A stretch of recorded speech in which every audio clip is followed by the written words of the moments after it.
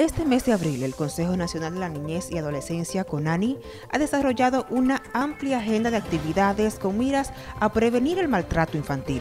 Sobre este particular, la directora regional de la entidad, Josefina Taveras, hizo hincapié en la importancia del cumplimiento del rol de los padres y madres.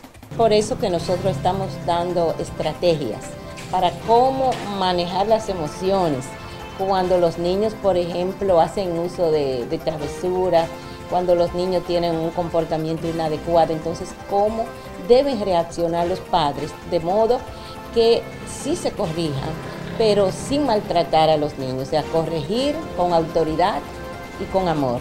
Además, se refirió a las problemáticas que traen consigo los embarazos en adolescentes y cómo esto podría influir de forma negativa en el cuidado y educación de los infantes. Imagínate cuando no hay una preparación, porque ni siquiera eh, las personas adultas están en capacidad para ser papá y mamá porque no hacen un curso, no se preparan. Es más un adolescente porque son como niños, trabajando con niños, o bregando con niños, o educando niños, cuando no tienen una formación, cuando no tienen realmente la madurez suficiente. Joanny Cordero, NTN, su noticiero regional.